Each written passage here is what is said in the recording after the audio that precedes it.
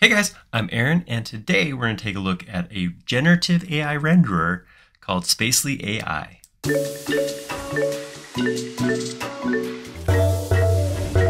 So if you were at uh, Basecamp 2024, you may have heard or even seen this uh, event we did, which was the 0 to 60 challenge, where we invited uh, extension developers to come in and show us what they got. And one of the winners was this particular extension called Spacely AI. And we're going to take a look at it today. Uh, it is a generative AI tool where it goes through and does potential renderings for your uh, model.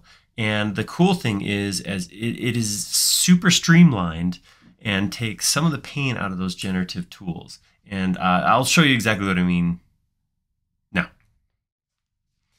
So uh, this is the listing page, Extension Warehouse. You can see it is up here. Uh, it is available. You can just download, install it. Um, and we're going to take a look at look how this works. The cool thing about this is there's other tools that do this very similar thing. But the nice thing about this is that the UI is set up so that it is so quick and easy to actually make any of these files. So let's let's close here and take a look. So I have this. Uh, this is from a previous model, but uh, no no there's nothing to it. Like there's there's it's just model there's no materials. There's nothing going on here. Um, so we're going to use spacely to make this look you know hopefully realistic like a real building. So i'm going to go into extensions. I'm going to click spacely ai and you know sometimes you go through these these extensions and we got to walk through a bunch of presets but the beauty of spacely is how simple this is. So first thing um, we have the ability to you know go in and change our view and if we do we can hit refresh and it's going to show so I'm, i like the view that i have of it right now. Uh, choose our space type is interior exterior. This is an exterior. All right do i want to write my prompt or do i want to use a preset style? So i can turn on write prompt and then this works very much like those things you've seen before. I have an inclusion and exclusion prompt. Please include this do not include this. That's that's great. We know we've seen that. We've done that. We've done videos on that sort of stuff before. But the thing this what I see is amazing in Spacely is this preset style. So here, let's choose our building type. All right, um, is it a building, a home, a hospital, hotel, restaurant, or cafe? Uh, it's a building. Uh, your preferred style, okay, we can flip through a whole bunch here.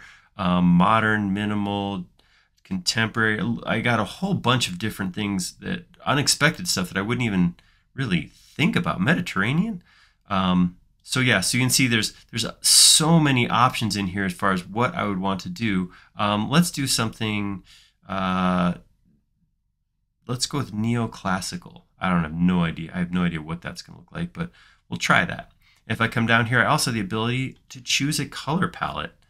This is awesome. So I can come through here and say, okay, what kind of colors do I want to see on this thing? Um, ooh, I like, this is kind of nice. Red through blue to gray. Let's do that. And then let's just hit generate.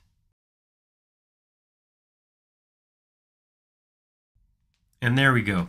So the first thing that comes up here is I have, it, it did create four different versions. So you can see I have these little bubbles across the bottom. These are my four versions. And kind of a cool option right here, I have the ability to compare. So here's my, my original model that I fed into Spacely, and here's what it came up with. You can see it's using those colors, it's using the neoclassical architecture style, so I can actually see that. Now, I don't have a whole lot to compare to. My original model, there wasn't much to, so I don't really need to go back and swipe like this. So I can actually toggle that off, and it just shows me the design. So now I can actually come in here and click through the four images that it created and see if there's any that I really that's nice. I think I like the first one best. I'm going to click on the bubble to jump back to the first one. And from here, I can hit save image to download that image.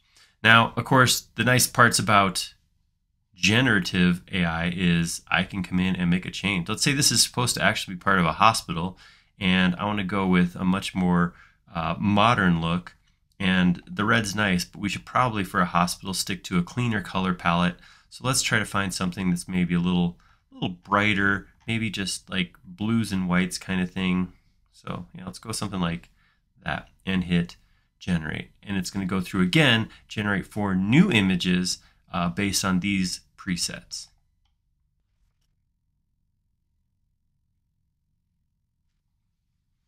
All right, same thing here. I'm going to turn this off and kind of just click through these couple of images.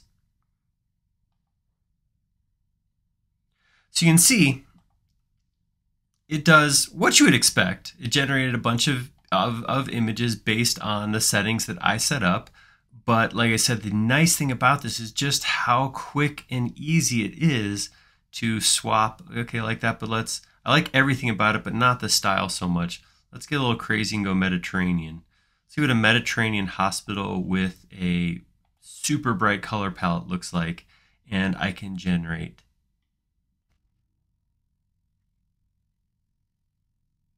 All right, and let's go ahead turn this off again and then click through the bubbles. So you'd see immediately, look at the, it didn't change the geometry, of course, you know, to give those traditional arches or sloped roofs.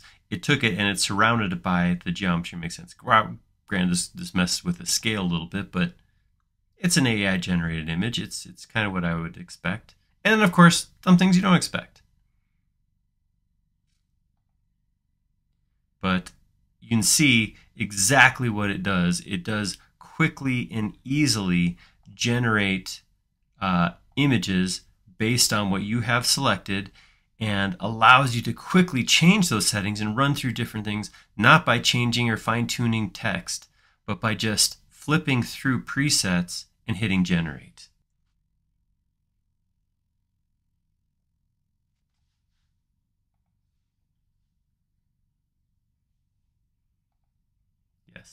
This this I think is what I had envisioned more of. Uh, really like this first one. I like that a lot. I think that turned out really cool, and that was kind of what I was expecting when I started into this. But uh, there you go. Pretty cool, pretty easy. I mean, pretty easy. Absolutely simple to use and to go through and change those settings. And again, if you don't like what you're coming up with with the settings, you can always turn on prompt and go get your images that way. But yeah, easy to click, click save, download, save those images, and get that generative render uh, in almost no time at all. So there you go. Uh, if you a lot of people have been into this generative AI image generation for a while now, and that's cool if, if that's you. If you haven't and you're looking for a simple way to dip your toe in, or if you have done it and you're tired of writing, writing lengthy prompts, um, check out Spacely AI. The way that they have the UI set up, it makes it very simple, very easy, very quick to go through and generate. And it's also very quick to repetitively generate output uh, because you have the same prompts. You can turn on the same prompts and you know generate again and again. Uh, sometimes getting generation or, or, you know images that look similar can be hard. This makes it a lot easier because those settings can be repeated for different models. Um, so yeah, check it out. It is a great, super quick, easy to use extension and gets you great results with minimal hassle. If you like that video, click like down below. And if you haven't already, please do subscribe. We create several videos each and every week, and we love to let you know about them. And we'll do that if you subscribe. Most importantly, though, leave us a comment down below. Have you tried Spacely? What do you think of it? Let me know what you think of this extension or if you think there's other extensions that we should be showing on these videos. We like making these videos a lot. We like them even more when they're showing something you want to see. Thank you.